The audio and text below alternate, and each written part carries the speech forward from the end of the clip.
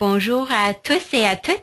Je m'appelle Darla Saunders au nom de la Fondation pour la conservation de saumon atlantique et le Canadian Rivers Institute. Soyez le bienvenu à notre série de webinaires.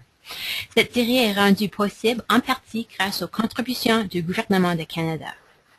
Nous sommes très heureux de recevoir M. Marc Fleury aujourd'hui. Marc est biologiste spécialisé en aménagement de l'habitat de l'homme de fontaine. Il a 20 ans d'expérience sur leur sujet.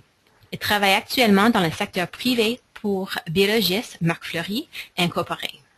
Il travaille dans le domaine de l'environnement avec plusieurs organismes tels les ZEC, Réserve Fondations d'hiver, ministères, villes, municipalités, etc. Avant de commencer, veuillez noter que la période de questions-réponses sera à la fin de la présentation. Vous pouvez poser les questions en anglais ou, excuse-moi, en français. Et je passe maintenant la parole à Marc. Oui, euh, merci euh, Darla. Alors, euh, bonjour à tous. J'ai intitulé la formation Technique d'aménagement de l'habitat de l'ombre de fontaine, les erreurs à éviter les recommandations de durabilité et d'efficacité. Le déroulement de la formation pour aujourd'hui. Au premier point, je vais vous parler des origines des techniques d'aménagement qui sont recommandées dans la formation. Au point 2, planification et erreurs à éviter. Point 3, aménagement de seuil avec frayeur dans les tributaires et les émissaires. Donc, on rentre dans le concret du sujet vis-à-vis des aménagements. Au point 4, aménagement de frayeur en lac. Et le dernier point, on va parler de la durabilité et de l'efficacité des aménagements dans le temps. Je débute avec euh, l'origine des techniques utilisées. Tout ce qui vous est recommandé comme technique, c'est des techniques qui visent à augmenter la quantité de frayère de qualité pour l'homme de fontaine. Qu'est-ce que j'entends comme frayère de qualité? Pour moi, une frayère de qualité, c'est une frayère qui est composée majoritairement de gravier, donc à 100% de gravier. Euh, une des particules utilisées pour la reproduction de l'homme de fontaine.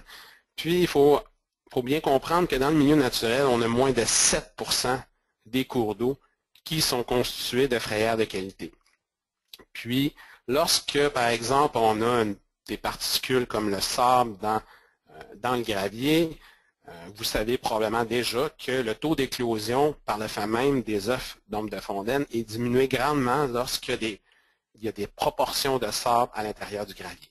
Donc, on essaie de favoriser des techniques d'aménagement de frayères qui euh, ne comportera pas ou qui ne qui n'accumulera pas de sable suite aux différents événements de la nature. je suis toujours dans les origines des techniques utilisées. Euh, les techniques, c'est tiré d'un suivi et de l'aménagement de 68 lacs. On parle de 120 km de cours d'eau. C'est tous des travaux qui ont été faits entre 1994 et 2014. Par exemple, euh, ces travaux inclut 488 frayères aménagées pour un total de 3154 mètres carrés de frayères aujourd'hui qui ont été réalisées pour l'habitat de l'ombre de fontaine.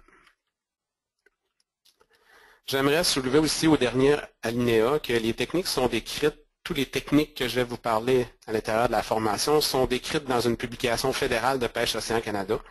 À la fin de la présentation, j'ai mis en référence ce document pour les gens qui aimeraient avoir plus de détails sur les techniques qui ont été discutées aujourd'hui.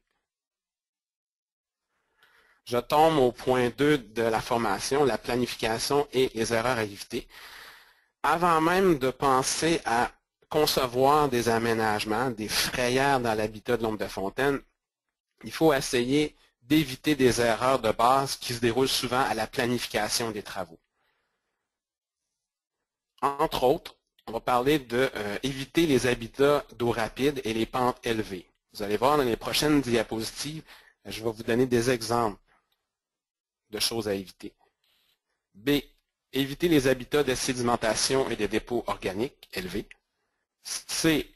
Les habitats du castor. Ben, c'est sûr que le castor fait partie de l'écosystème il faut déjà l'intégrer dans l'équation au niveau de la planification si on ne veut pas avoir des dommages suite à l'activité du castor.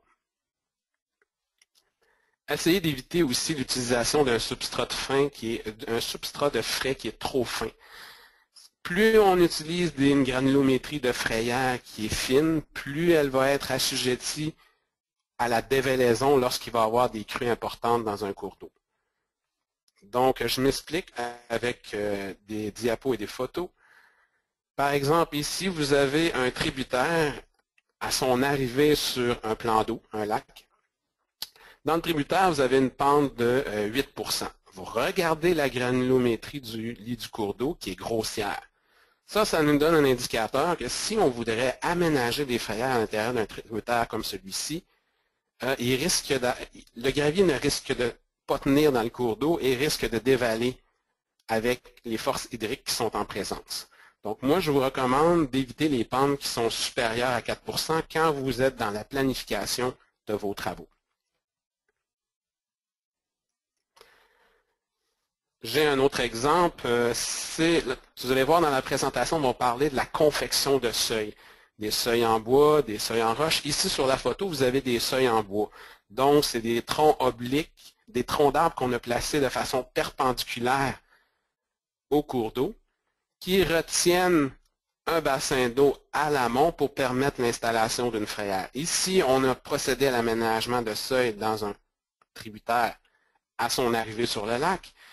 Puis la pente était quand même assez forte, donc ce qui est arrivé à travers les années, c'est que le gravier a complètement disparu des seuils pour être emporté vers l'aval, étant donné que la pente était trop forte et que les débits en présence étaient trop élevés. Vous regardez sur la photo ici un cours d'eau qui a une pente quand même relativement inférieure à 4% Par contre, il y a plusieurs indicateurs dans notre planification qui nous donnent un indice des débits et des forces hydriques en présence. Regardez la granulométrie du lit du cours d'eau qui est grossière. Regardez les accumulations de débris ligneux sur les roches. Vous voyez que les crues déplacent des débris ligneux de fort, de fort diamètre. Donc là ici, si on voudrait aménager des frayères à l'intérieur d'un cours d'eau comme celui-ci, euh, je vous dirais qu'il il risque d'avoir des dommages aux frayères aménagées parce que les débits sont trop importants, même si la pente est inférieure à 4%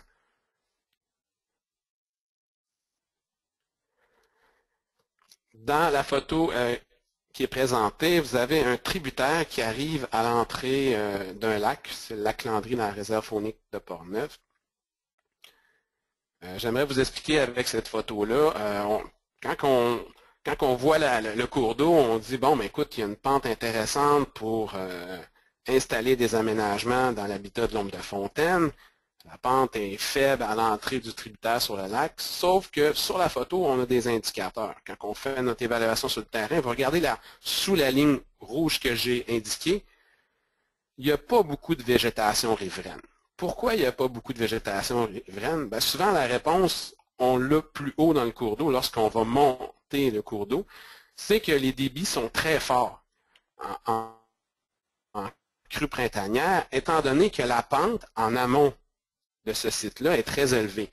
Donc, ce qui arrive, c'est qu'en crue printanière, il y a une pression énorme de vitesse et de courant à cet endroit dans le tributaire qui fera en sorte que si on voudrait faire des aménagements, ben, on, a une difficulté additionnelle parce qu'il y a des indices qui nous permettent de mesurer les forces hydriques en présence et de dire qu'il y aurait peut-être des, dommages dans nos structures si on y va vers l'implantation d'une frayère, par exemple, à cet endroit-là.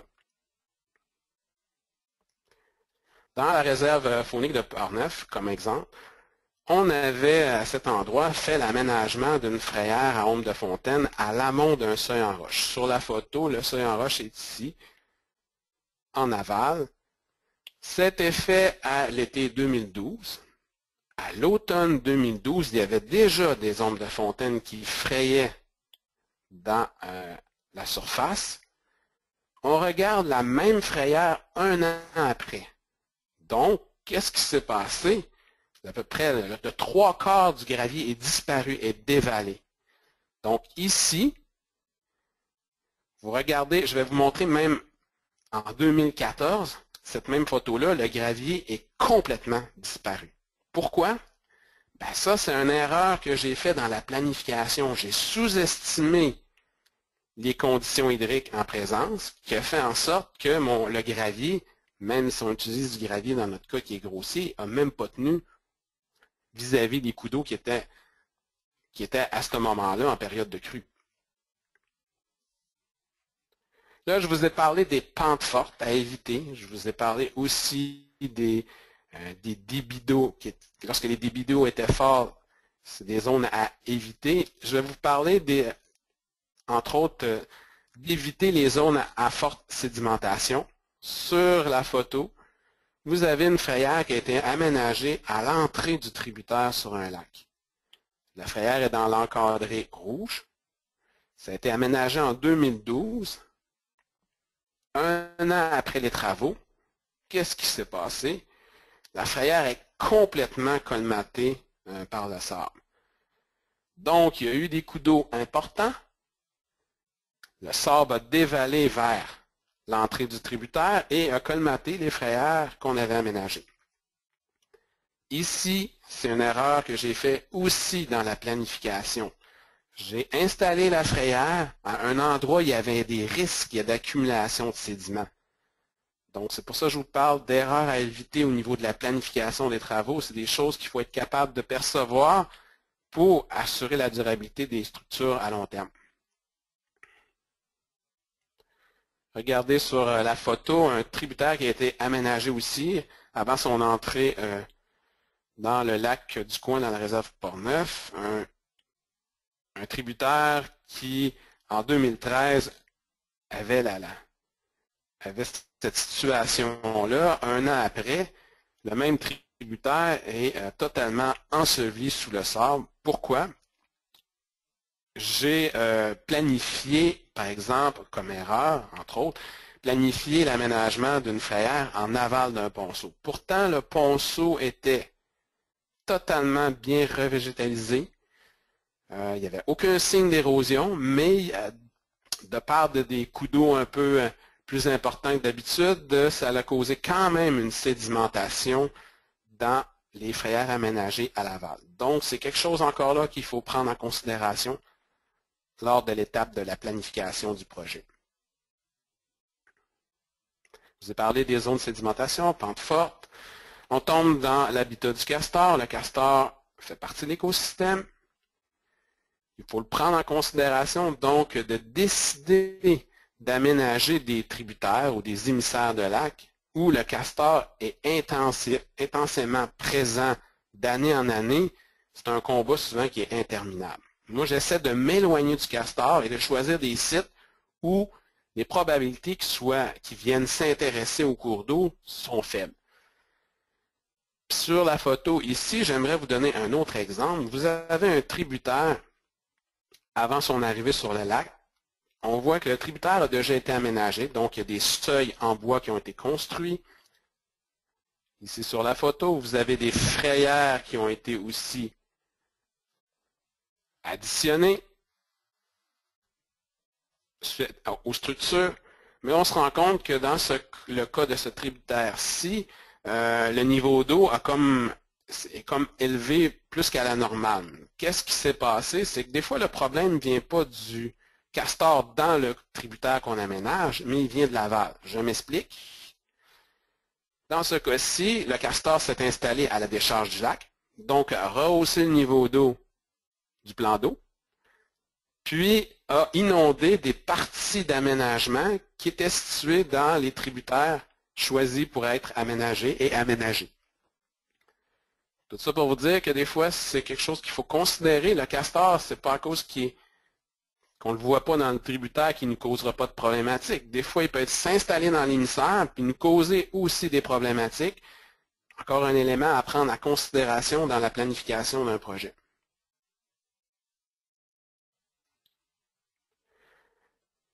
Ici, on a un tributaire qui a été aménagé avec l'aide de seuils en bois, donc des troncs d'arbres placés perpendiculaires au cours d'eau, où on a ajouté en amont des frayères en de fontaine. C'est la surface de graillé que vous voyez ici.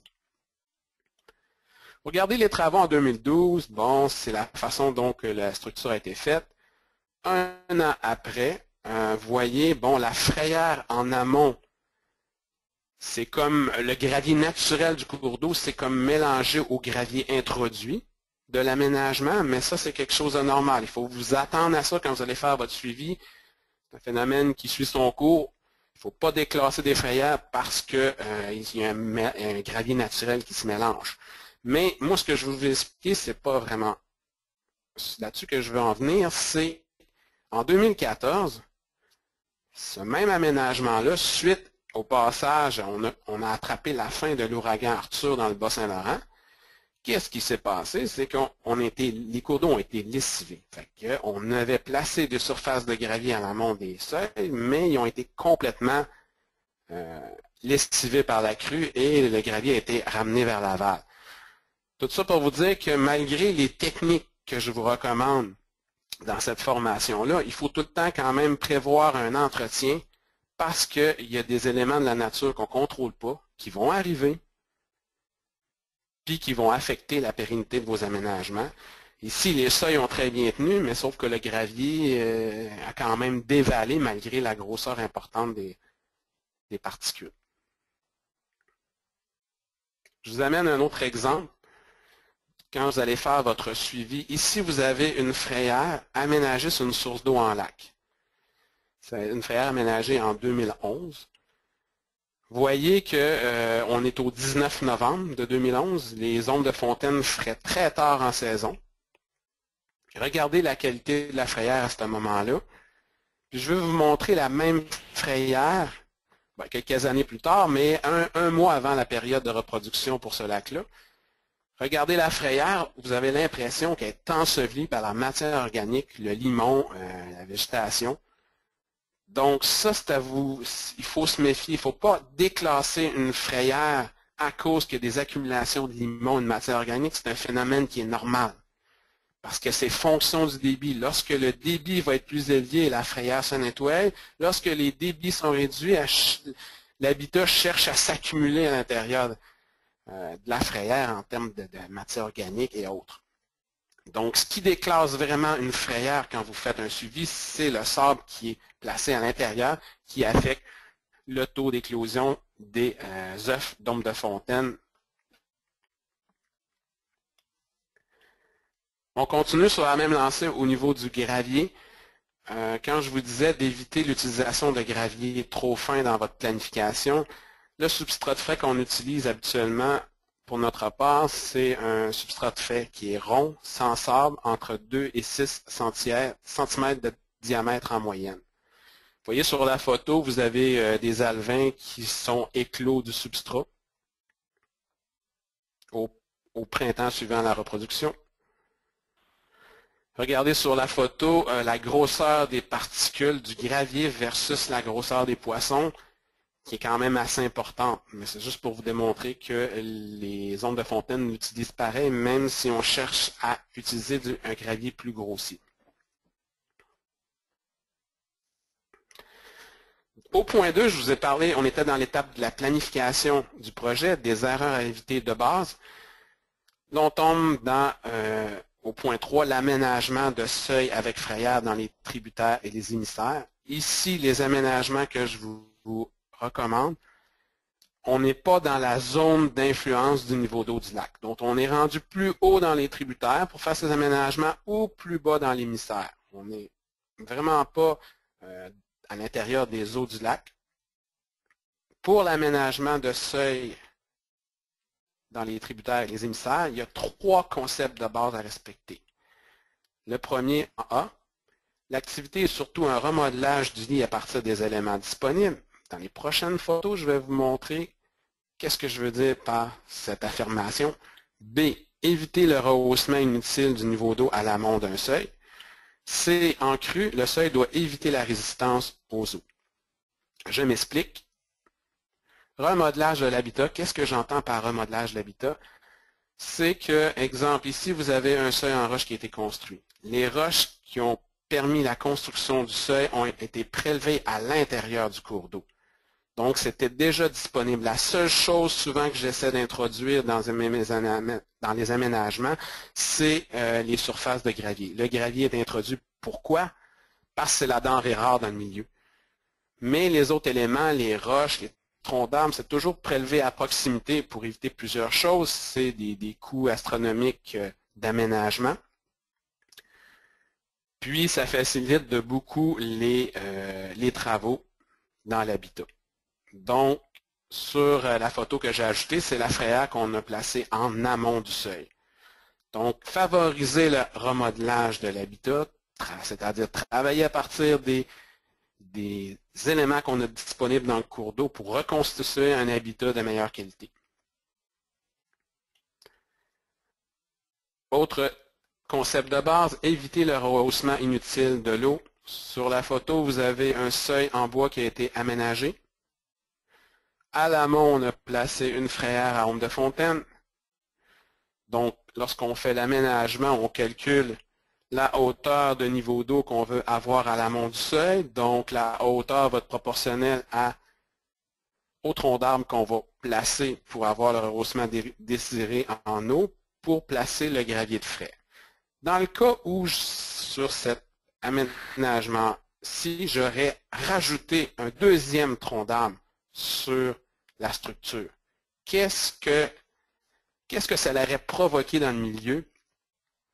En mettant deux troncs d'arbres d'auteur, je cause un rehaussement inutile du niveau d'eau.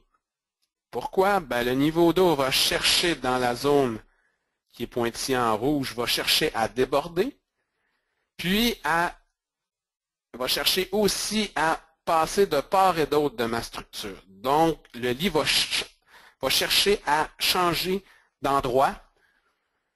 Puis, euh, c'est ce que j'entends comme rehaussement inutile du niveau d'eau lorsque vous installez un seuil. Parce que si vous faites un rehaussement inutile, vous risquez d'avoir des dommages. Puis d'autant plus, le dernier élément, ci c'est qu'en mettant deux troncs d'arbres, au lieu d'avoir une frayère, vous allez probablement créer un bassin de sédimentation. Donc, euh, toutes les fines particules vont être captées à cet endroit-là. Donc, vous n'aurez pas l'effet désiré d'une frayère de qualité et bien dépourvu de matière fine. Troisième concept de base, lorsqu'on construit des seuils, sur la photo, vous avez un seuil en roche. Regardez la largeur du seuil qui est importante et la hauteur du seuil qui est faible. Donc, pour éviter la résistance au cru, vaut mieux avoir un seuil large et trapu qu'un seuil qui serait très étroit et très haut. Dans ce dernier cas, euh, en période de crue, vous allez avoir des dommages inévitables à la structure. Donc, c'est les trois concepts de base à respecter quand vous procédez à l'aménagement de seuil, qu'il soit en roche ou en bois. Dans l'étape, à l'étape 3.1, je vais vous parler de la construction des seuils en bois et en roche. Donc, on rentre dans le concret du sujet, comment on doit aménager ces structures-là dans l'habitat de l'ombre de fontaine? J'ai identifié sept étapes de construction. Puis en passant, j'aimerais euh, soulever aussi que tout ce que je vous montre comme travaux, comme technique d'aménagement de l'habitat de l'homme de fontaine, c'est tous des travaux qui se font de façon manuelle. Donc, c'est facilement réalisable à partir d'équipes d'ouvriers. Donc, je reviens à mes sept étapes. La première, identification d'un bon emplacement avec des points d'ancrage du seuil. Deuxième étape, insertion du seuil dans le lit et les rives. 3. Constitution de noyau central. 4. Intégration de l'échancrure. 5. Installation d'une membrane ou d'une clé de gravier. 6. Enrochement d'un noyau, du noyau et des rives. Et 7. Aménagement de la frayère. Là, je vous parle des sept, des étapes, mais de façon générale. Je vais rentrer dans les détails tantôt avec des, des photos de terrain pour vous expliquer comment on produit les structures.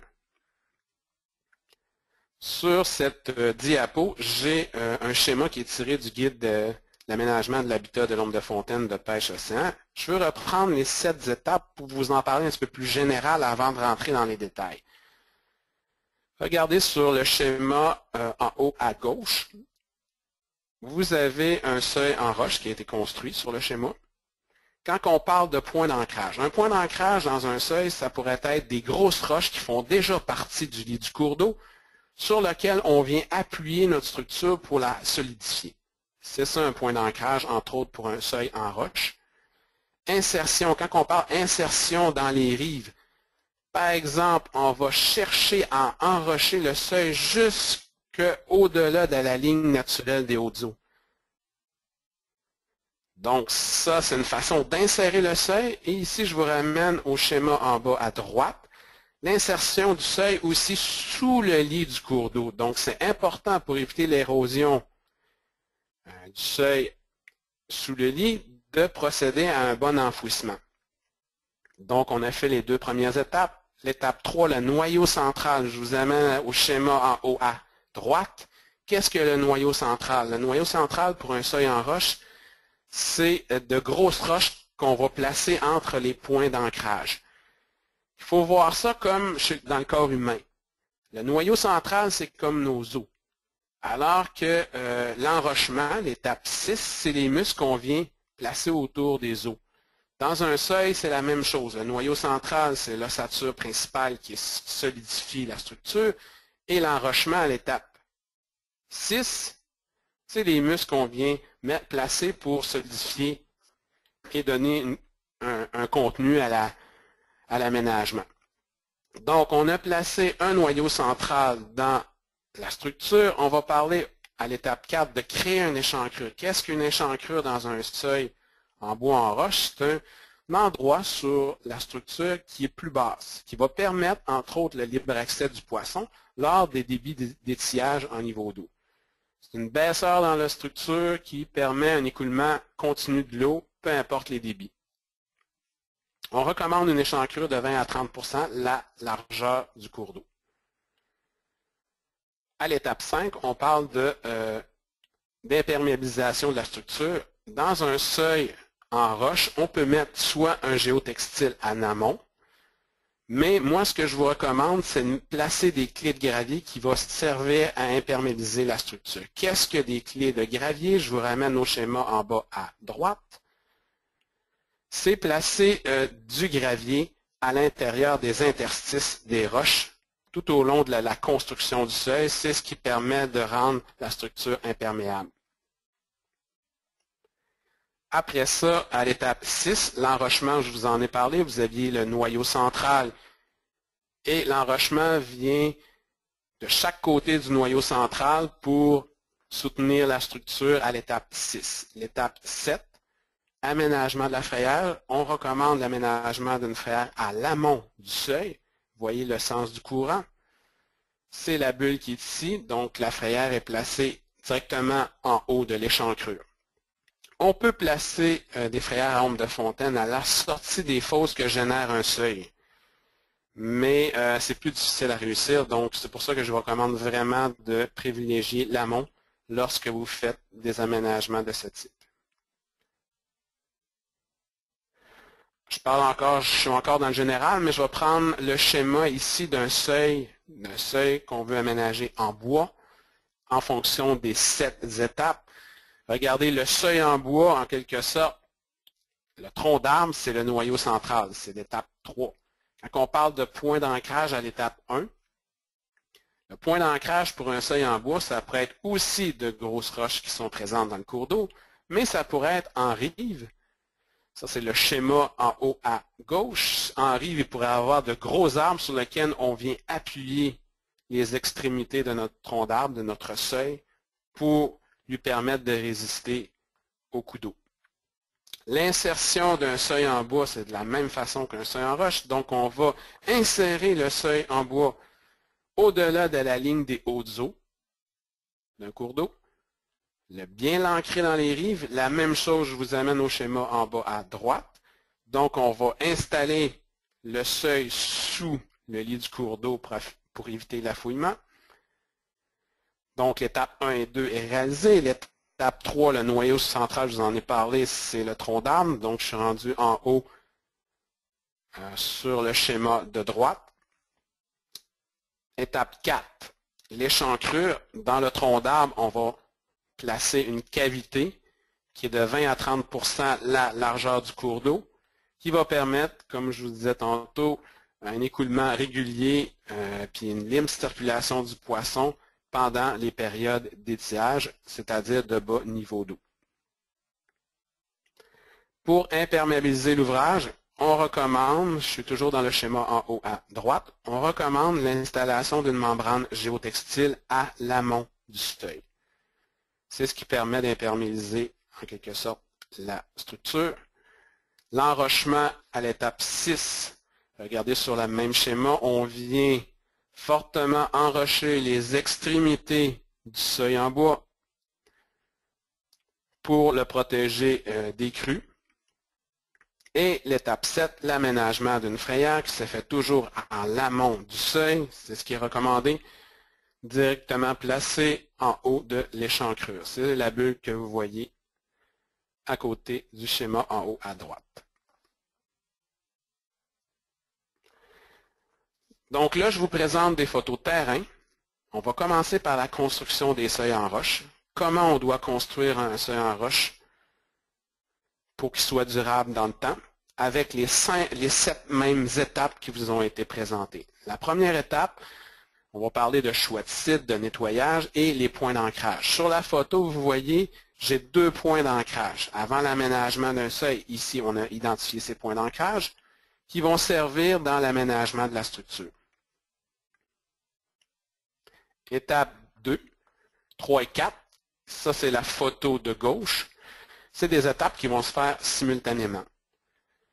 On parle dans ces trois étapes-là, insertion du seuil dans le lit et des rives. Qu'est-ce que j'entends par là? Voyez ici, on a placé un noyau central qui est l'étape 3. Donc, un c'est une lignée de grosses pierres qui vont constituer l'ossature du seuil. Puis ici, le, seuil a été prolongé, bien inséré dans les rives.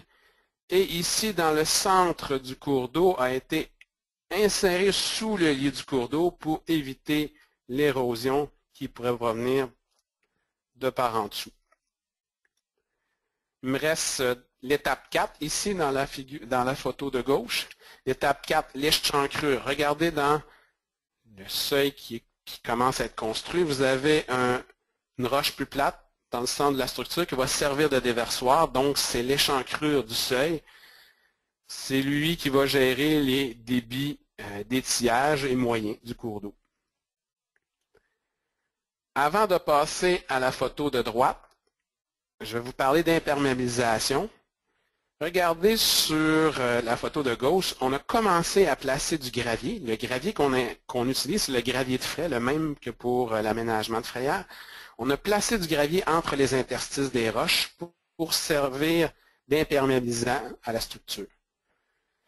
Euh, je vous amène à la figure de droite pour faire réaliser les étapes 5 et 6, donc l'imperméabilisation et l'enrochement. Encore ici, c'est deux étapes qui se font simultanément.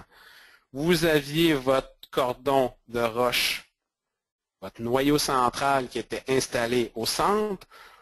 On a tranquillement, au fur et à mesure, enroché le noyau central de part et d'autre et colmaté les interstices avec du gravier à l'étape 5. Donc, il nous reste une dernière étape pour l'aménagement d'un seuil en roche, l'étape 7, l'aménagement de la frayère. La frayère se fait en amont euh, du déversoir. C'est ce que vous voyez dans l'encadré pointillé rouge. Ça, c'est l'aménagement de la frayère. Je vais vous montrer une photo de la structure lorsque elle est terminée. Vous voyez, c'est ce que ça a de l'air un seuil en roche après sa construction. Avant de passer à un autre euh, point, j'aimerais soulever des affaires importantes dans la construction. Je vais commencer par la frayère aménagée. Quand vous aménagez une frayère, toujours avoir au moins 15 cm et plus de gravier en épaisseur et toujours conserver une lame d'eau minimale de 10 cm au-dessus du gravier. On va aller à l'échancrure euh, du seuil. L'échancrure doit être de 20 à 30% de la largeur du cours d'eau. Je recommande aussi d'avoir une chute d'eau parce que le seuil va générer une chute d'eau, une chute d'eau inférieure à 30 cm pour permettre à la plupart des poissons de franchir le seuil aisément. Je vous amène dans le haut de la photo. Lorsqu'on parle d'insertion du seuil dans les rives, toujours aller au-delà de 1 mètre de la ligne naturelle des hautes eaux, comme insertion du seuil dans les rives.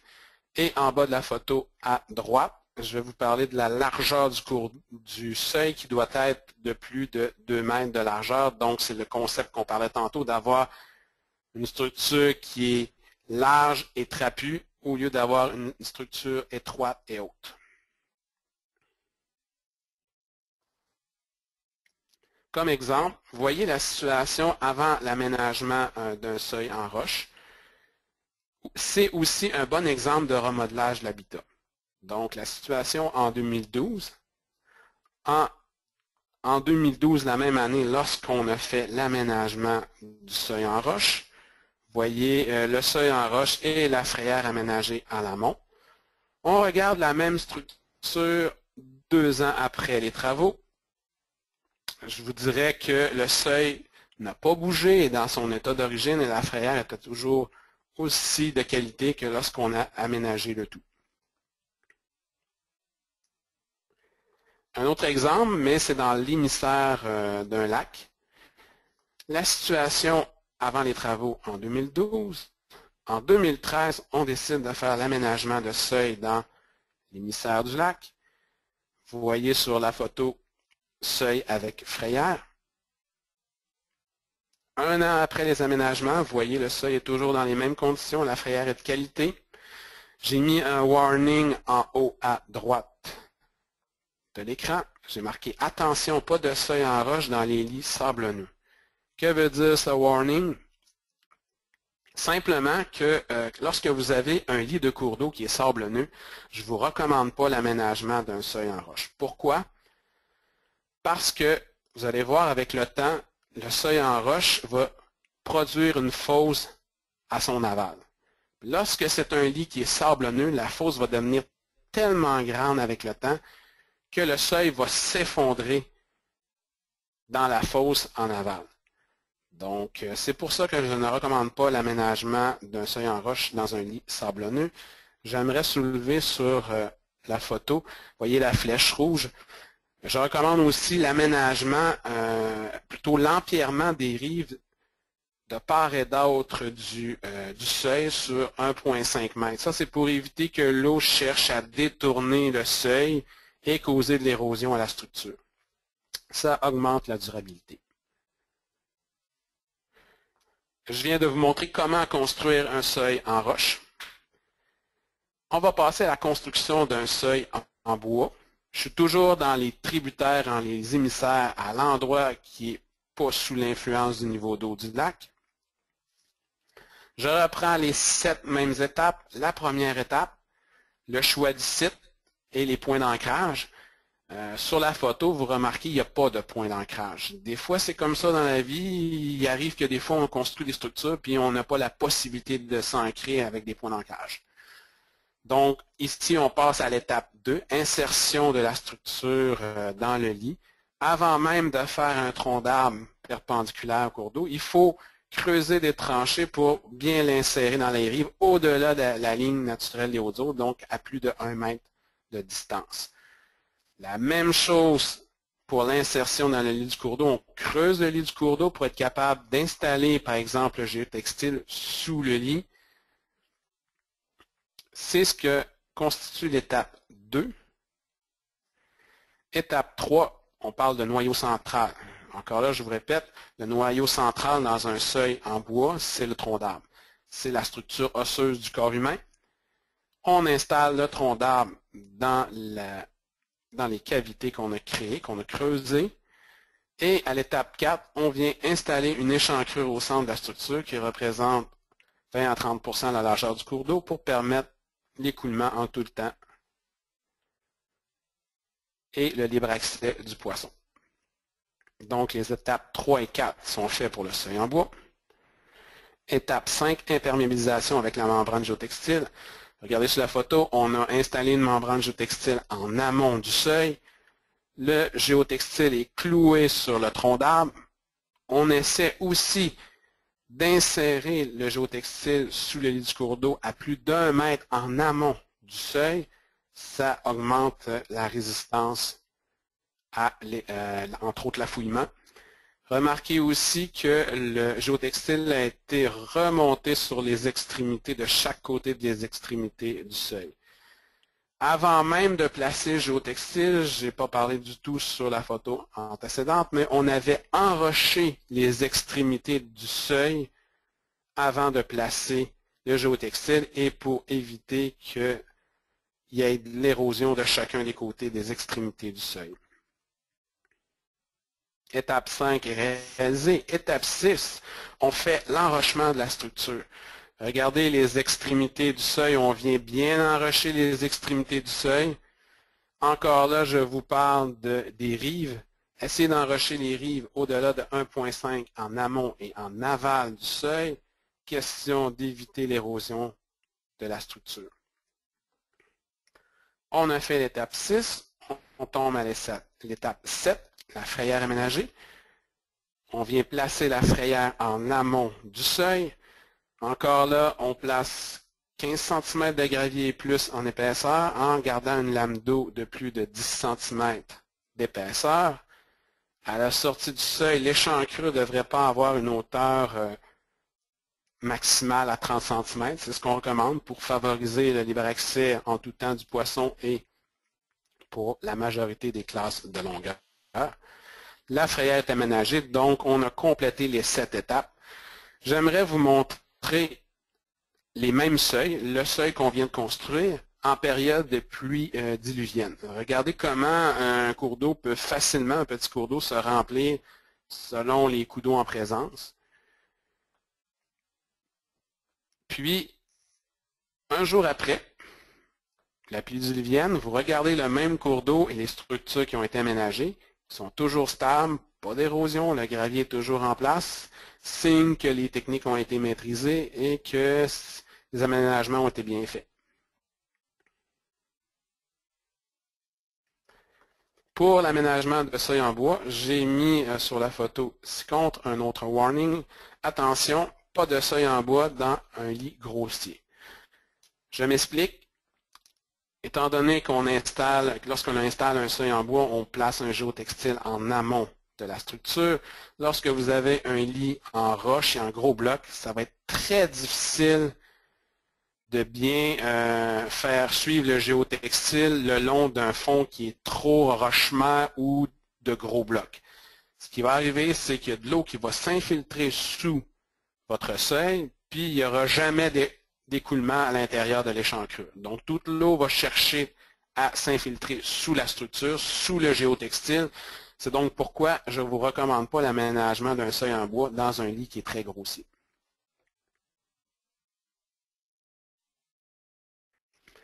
On était dans les tributaires et les émissaires euh, des lacs, dans la zone où on était à l'extérieur de la zone d'influence du niveau d'eau du lac. Là, on tombe dans les eaux du lac quel type d'aménagement de frayère on peut faire en lac? Trois types. A. L'aménagement de frayère à l'émissaire. B. L'aménagement de frayère à l'entrée d'un tributaire. Ou C. L'aménagement de frayère sur des sources d'eau en lac. On commence par le premier type, A. L'aménagement de frayère à l'émissaire. Regardez ici le cool vers le haut de la photo, c'est l'émissaire d'un lac. Donc, dans certains cas, vous allez arriver sur place, ça va être des accumulations importantes de débris lumineux parce qu'on est à la décharge du lac, c'est des endroits propices à, cette accumulation. Une des premières tâches qu'il va falloir faire, c'est le nettoyage du lit pour avant, avant l'aménagement de la frayère. C'est ce qui a été fait sur euh, la photo. Je vais vous parler de trois étapes lorsque vous lorsque vous construisez une frayère en lac. La première étape, c'est le nettoyage du site, comme vous avez vu sur la photo antécédente. Puis, deuxième étape, préparation du lit. Qu'est-ce qu'on fait dans la préparation du lit? Ça, exemple, quand on a identifié la zone où on veut aménager une frayère, Dans cette zone, on enlève de 15 à 30 cm du substrat du lit pour le déposer à l'extérieur en préparation à l'aménagement de la frayère. Donc, la dernière étape, seulement trois étapes, la mise en place du gravier sur la zone qu'on identifie comme frayère. Donc ici, c'est le polygone en pointillé rouge. Voyez, on va placer à l'intérieur de cette zone 15 cm et plus de gravier avec une lame d'eau toujours de 10 cm au-dessus de celui-ci.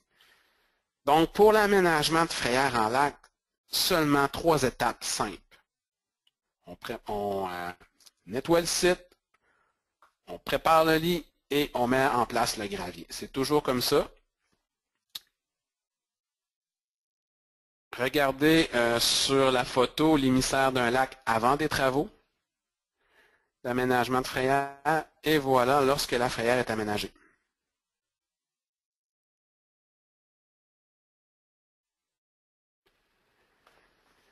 Au point euh, B de l'aménagement de frayère en lac, je vais vous parler d'une frayère aménagée à l'entrée d'un tributaire. Je prends les trois mêmes étapes j'ai la première étape, le nettoyage. Vous comprendrez sur la photo ici, le nettoyage n'a pas été euh, l'élément principal. Donc, on a tout de suite sauté à l'étape 2, préparation du lit.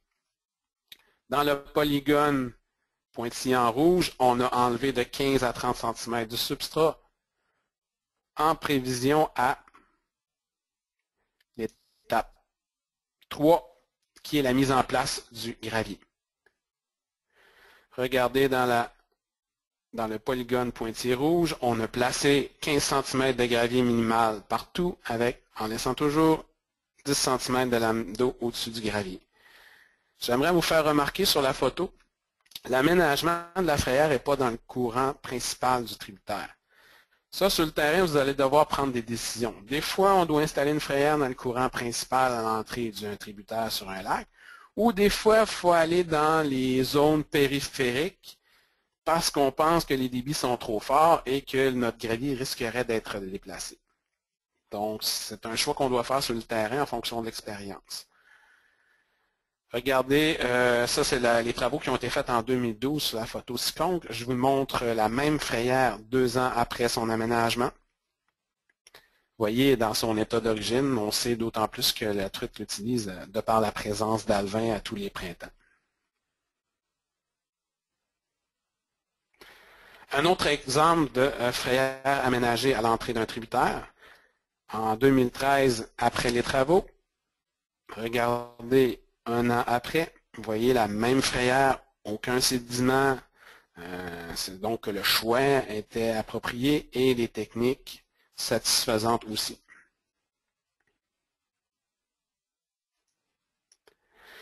Je vais vous parler de l'aménagement de frayères euh, sur les sources d'eau en littoral. En réalité, on travaille avec les sources d'eau au point C. Une source d'eau en littoral, c'est quoi une source d'eau en littoral? C'est simplement une émergence d'eau qui arrive euh, des profondeurs du lac. Vous avez, elle peut être à 1 mètre de profondeur, peut-être à 2 mètres de profondeur euh, pour l'aménagement d'une source d'eau. Regardez sur la photo, vous avez une émergence d'eau euh, qui est située à l'intérieur euh, de la ligne pointillée rouge. Comment on fait pour aménager une source d'eau en littoral? Les trois mêmes étapes. Première étape, on fait le nettoyage, c'est-à-dire qu'on enlève les débris qui pourraient risquer de nuire à l'aménagement de la frayère. Étape 2, préparation du lit. Encore là, on enlève de 15 à 30 cm du substrat du lit. Et on tombe à l'étape 3, la mise en place du gravier. La photo a changé de sens, mais c'est la même source d'eau aménagée. Donc, dans la zone qu'on a préparée pour la frayère, on vient placer 15 cm de gravier en épaisseur tout en laissant une lame d'eau de 10 cm et plus au-dessus du gravier. Des exemples. Sur la photo ici, vous avez une frayère à ombre de fontaine qui est utilisée en milieu naturel. Une source d'eau en littoral, c'est l'image que vous allez retrouver sur le terrain. La plupart des frayères en source d'eau sont constituées de cette façon-là. Sont une grande proportion de sable et très peu de gravier. Dans 97% des cas, lorsqu'on fait l'inventaire, euh, les frayères naturelles sur des sources d'eau sont de ce type. Vous comprendrez que euh, dans un substrat comme ça qui est majoritairement sablonneux, lorsque l'ombre de fontaine va euh, frayer, déposer ses œufs, le taux d'éclosion n'est pas le même, est bien inférieur à lorsqu'on va installer un lit de gravier. Donc vous regardez, ce n'est pas la même source d'eau, mais c'est le même concept. Une source d'eau en littoral. Ici, on a changé le substrat qui était de pied de qualité par un gravier de, par un gravier de qualité pour permettre une meilleure reproduction de l'ombre de fontaine. Voyez sur, euh, ça c'est en 2014, puis la même frayère au mois d'octobre 2014 qui est déjà utilisée par l'ombre de fontaine. Vous allez voir, les réponses sont assez rapides dans le cas des sources d'eau aménagées.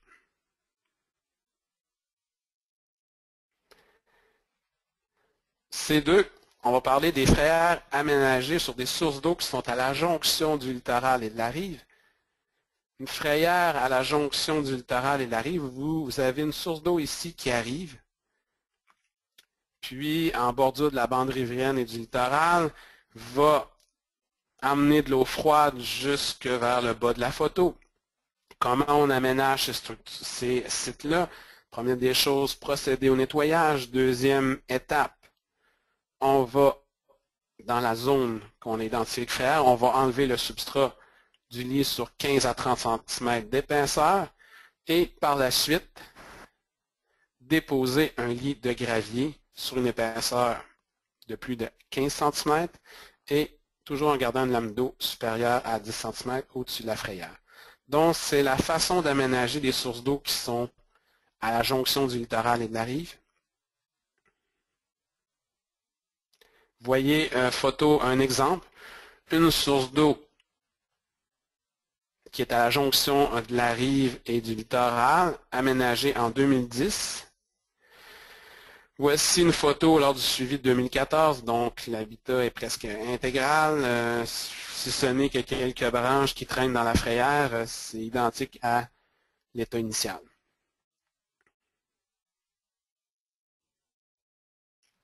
Troisième type de frayère qu'on peut aménager sur des sources d'eau, c'est des sources d'eau en bande riveraine. Qu'est-ce qu'une source d'eau en bande riveraine? Source d'eau en bande riveraine, c'est euh, à l'image d'un tributaire qui arrive dans la bande riveraine, mais sauf que vous allez vous rendre compte que le tributaire est souterrain à plusieurs endroits. Euh, on l'entend plus qu'on le voit. Donc, euh, c'est le type de source d'eau à laquelle on veut aménager des frayères, dans lesquelles on veut aménager des frayères.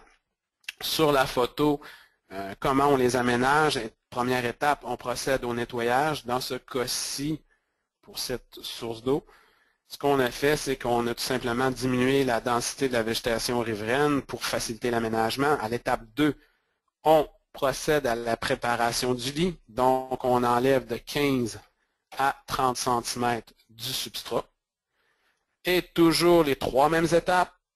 La dernière, mise en place du gravier sur 15 cm d'épaisseur et en laissant une lame d'eau de la même dimension qu'auparavant. Exemple. Ça, c'est une source d'eau en bande riveraine avant l'aménagement. Cette même source d'eau-là, après l'aménagement d'une frayère, regardez à quoi c'est quoi l'image que ça représente. Euh, voyez aussi que dans la frayère, euh, on voit des accumulations de débris euh, organiques. C'est tout à fait normal. Je vous expliquais tantôt que c'est fonction des débits en présence. Lorsque les débits augmentent, la matière organique se libère et dans d'autres cas, va chercher à ensevelir la frayère. Des fois, tu peux avoir jusqu'à 10 cm de matière organique au-dessus d'une frayère en été.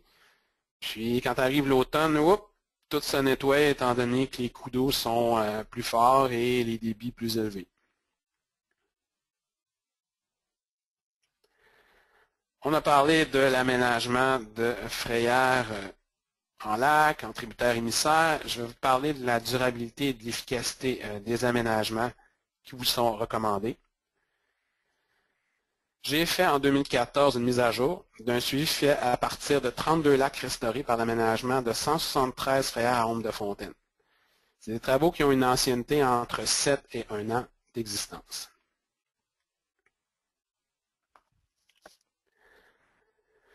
Voilà le tableau qui résume euh, les résultats. Je vais commencer par la colonne de gauche.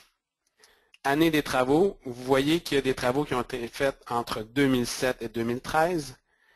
Deuxième colonne à partir de la gauche, euh, le nombre de lacs, 32 lacs qui ont été suivis. Troisième colonne, frayère avant et après en mètres carrés. Que veut dire euh, ce paramètre? Je vous amène à la ligne totale.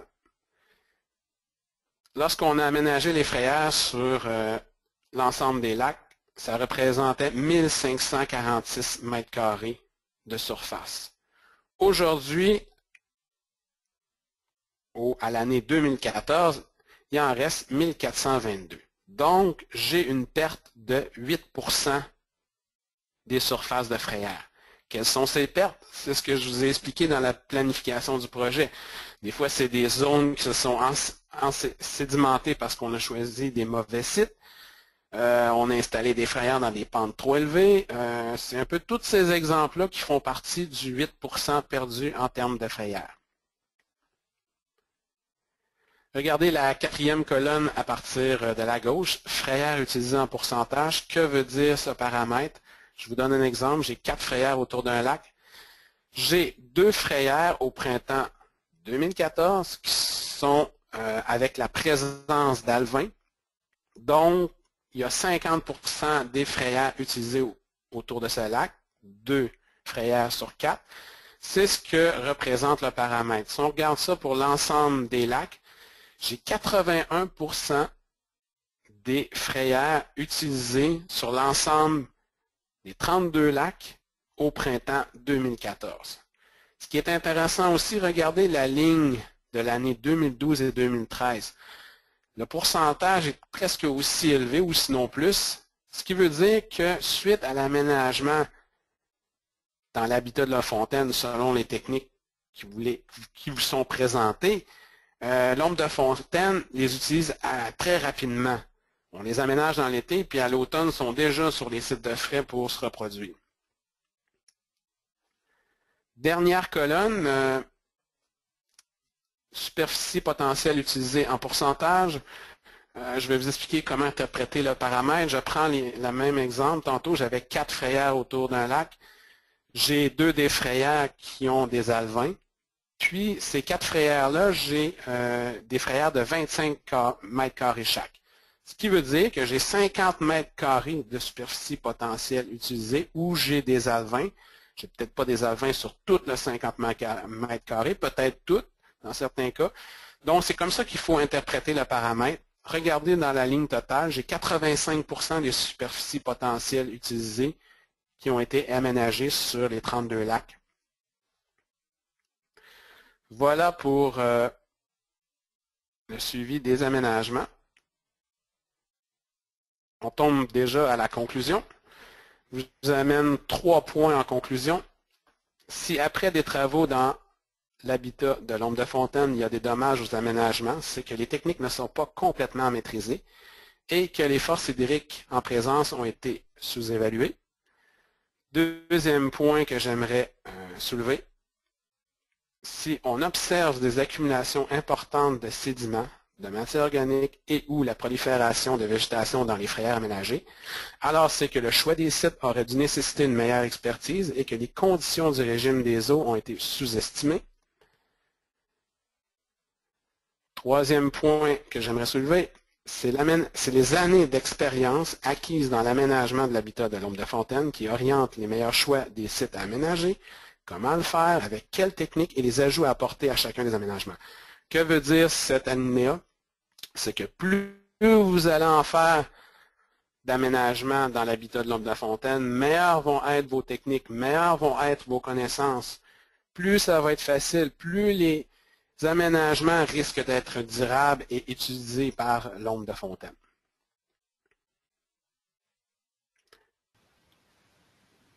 Petite euh, phrase, petite pensée en finissant. L'aménagement de l'habitat du poisson n'est pas qu'un simple dépôt de roches et de gravier sur le lit. Il y a un travail minutieux triangulant les connaissances acquises sur le terrain, les caractéristiques des milieux aquatiques, des techniques validées et une expertise développée afin de créer des aménagements qui sont durables et utilisés par le poisson. Ce que je veux dire par là, c'est que je ne veux pas vous donner l'impression que lorsqu'on fait l'aménagement de seuil, l'aménagement de frayère, c'est juste de tirer des roches dans le cours d'eau et tirer des chaudières de gravier, puis et voilà, l'homme de fontaine les utilise. Dans un seuil en roche, le fait euh, d'oublier euh, une dizaine de roches peut faire en sorte que euh, l'aménagement ne tienne pas au cru. de mettre des chaudières de gravier, vous pourriez les mettre un mètre à côté du bon site, puis ils ne seront jamais utilisés par l'homme de fontaine parce qu'ils vont se colmater automatiquement par la sable, par exemple.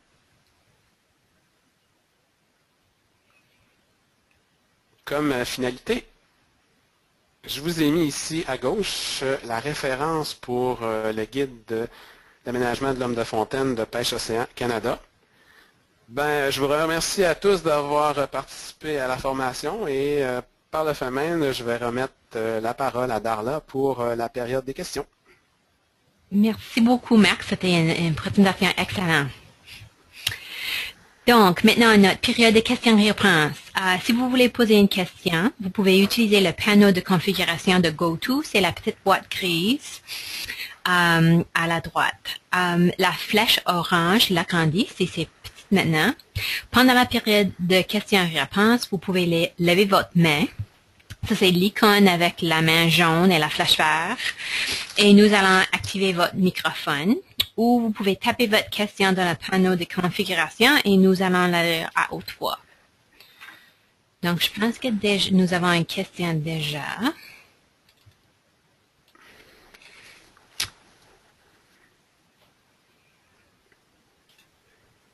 OK, donc, première question vient de Marianne Moffett. Est-ce que les aménagements ont été réalisés dans les lacs allopatriques seulement? Oui, la réponse, euh, oui, effectivement, c'est juste des lacs allopatriques en nombre de fontaines. D'accord. Puis sa deuxième question. Mais ce serait la même, mais ça serait la même technique pour des euh, lacs avec espèces compétitrices. D'accord, merci. Donc sa deuxième question, recommandez-vous des aménagements dans des lacs avec des compétiteurs? Oui, moi, je, étant donné que euh, dans le bilan de mon expérience, j'en viens à la conclusion que je regarde dans le bouclier euh, canadien qui est québécois, il y a une denrée rare en site de reproduction pour l'homme de fontaine parce que soit que les sols sont très euh, composés de roche-mer ou sablonneux, j'en viendrai à la conclusion que dans les lacs à espèces compétitrices, déjà là, si les hommes de fontaine n'ont pas de bons habitats de reproduction, c'est presque impossible de rivaliser avec euh, les espèces compétitrices. Donc, euh, pour moi, d'aménager des frayères dans des lacs à espèces compétitrices, c'est déjà là un gain important.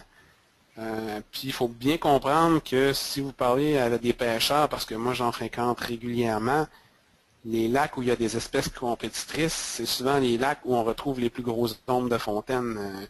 les lacs allopatriques vont souvent fournir des espèces de plus petite taille que des lacs qui sont en sympathie.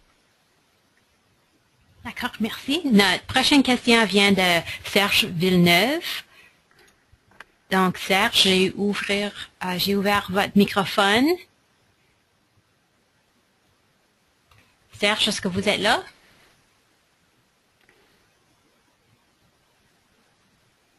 Hmm. Euh, donc, peut-être, Serge, vous pouvez taper votre question. Euh, prochaine question vient de euh, Mathieu Roy. Auriez-vous un conseil, un conseil pour déterminer adéquatement la hauteur de seuil pour ne pas créer une zone lentique en amont plutôt qu'une frayère? Est-ce que la pente de cours d'eau doit être considérée? Oui, la pente du cours d'eau est, à considérer, c'est sûr, mais euh, moi, étant donné que je vous recommande les pentes de moins de 4% si euh, dans la majorité des cas, vous en tenez à un seuil d'une hauteur maximum de 30 cm, ça devrait éviter que le seuil devienne un, un bassin de sédimentation au lieu d'être une frayère à onde de fontaine. Mais c'est sûr qu'il y a toujours du cas par cas sur le terrain. Euh, là, je vous donne une règle générale sur laquelle je peux me baser d'après l'expérience que j'ai. D'accord, euh, merci. Prochaine question vient de Anita Doucette. Bonjour Anita. Est-ce que ces travaux doivent être accomplis au sec? Non, il n'y a aucun de, des, aucune des, euh, des aménagements, aucun des aménagements que vous avez vus qui ont été faits à sec. Euh, des fois, vous avez l'impression que ça a été fait à sec. C'est juste parce que des fois, on, euh, met des géotextiles et euh, des fois on crée des, amoncellements de roches qui ralentissent un peu le débit, mais on travaille toujours en période, on ne travaille pas lors des périodes des hautes eaux, parce que là on se donne une difficulté additionnelle. Mais en période estivale, je dirais en général, on travaille toujours entre le 1er juin et euh, peut-être la, fin septembre dans la plupart euh, des territoires. On essaie d'éviter euh, les périodes importantes de coups d'eau. D'accord, merci. Un commentaire de Marianne Moffitt. Merci, excellente présentation. Merci à vous. prochaine question vient de Serge Villeneuve. Donc, Serge a dit, merci pour cette excellente présentation. Marc, quel rendement pourcentage avez-vous obtenu après aménagement? Ces succès ont-ils été maintenus dans le temps? Euh, c'est une question euh, compliquée à répondre, mais je vous dirais que ce qu'on a comme résultat jusqu'à maintenant, ce n'est pas tous les lacs qui réagissent de la même façon. Les tendances les plus concrètes, Suite à l'aménagement, les premières choses que vous allez vous rendre compte dans les données de pêche sportive, souvent les poids moyens vont chercher à augmenter. Des ombres de fontaine euh, capturées, donc les, deux, la première, deuxième année, puis euh, quand vous allez tomber dans 3, 4, 5e année suivant les aménagements, ben là, c'est la quantité de poissons qui cherche à augmenter, donc la qualité de pêche va augmenter. Les rendements aussi vont augmenter parce que les poissons sont plus gros de quel ordre de grandeur? Je vous dirais, des fois, on a vu euh, des rendements qui étaient de 5 kg, 5 kg à l'hectare qui sont passés à 10 kg à l'hectare. Euh, d'autres exemples, euh, des kilogrammes à l'hectare qui sont passés de 4 à 6 kg, 7 kg à l'hectare. Mais dans la majorité des cas, lors des, je dirais, les quatre premières années, peut-être un rendement additionnel de 1 à 2 kg de plus par hectare, mais une qualité de pêche, de pêche beaucoup plus intéressante parce que les poissons ont eu une grosseur, sont devenus plus gros qu'avant. Donc, c'est ce que je pourrais vous donner comme euh, information jusqu'à date, comme tendance qu'il y a. D'accord, merci. Un autre commentaire de Simone Morissette. Merci Marc, très bonne présentation et rappel de souvenirs. Simon a participé à certaines choses, donc. Euh. Excellent. donc, prochaine question vient de Karl Ulrich. Euh, sa question est, suite aux aménagements, à quelle fréquence et à quel moment devrait-on faire une tournée des lieux afin de s'assurer que tout est sous contrôle? Arbre tombé, barrage de castor, etc. Euh, je vous dirais que le gros, la gros de la problématique, souvent, c'est le, les castors, parce que les techniques d'aménagement qui vous ont été présentées euh, demandent en général pas beaucoup d'entretien. C'est-à-dire, euh, quand je parle d'entretien, c'est un suivi par année. Euh, dans le cas où vous auriez des, des, lacs qui sont plus problématiques au castor, ben peut-être qu'il faut aller faire une première visite avant avant l'automne et au cours de l'automne pour s'assurer que le castor ne joue pas des tours puis qu'il s'installe à des endroits qu'on ne voudrait pas. Donc le suivi, c'est un à deux par, euh, par année. C'est ce que, je, recommande euh, pour ce type d'aménagement. D'accord, merci. Prochaine question vient de Luc Gagnant. Ah, sa question est, y a-t-il une superficie minimale recommandée pour une frayère? Il n'y a aucune superficie minimale recommandée. Euh, ce que je vous dirais, euh, c'est sûr qu'il y a un rapport coût-bénéfice là-dedans. Moi, en bas de 1 mètre carré, euh, c'est une frayère de 0.5 mètres carrés. Euh, ça donne, des fois, c'est beaucoup plus d'énergie d'emmener le gravier là que de, de mettre peut-être la chaudière à un autre endroit où on a un, un rapport coût-bénéfice plus intéressant. Donc, il n'y a pas vraiment de superficie minimale à aménager mais c'est toujours une question de euh, faisabilité technique et de rapport coût-bénéfice euh, pour le déplacement du gravier. Merci. Prochaine question vient de Ambrios Leak. Euh, quel est le coût moyen des aménagements au mètre carré? au mètre carré, je vais vous parler plus au, lorsque vous aménagez un lac, le coût en réalité pour un lac va tourner autour de 3 à 6 000 d'investissement lorsque on euh, crée, je vous dirais, un ordre de grandeur de 20 à peut-être 90 euh, mètres carrés de frayère. Donc, peut-être qu'avec ça, tu vas être capable de te faire un rapport par mètre carré.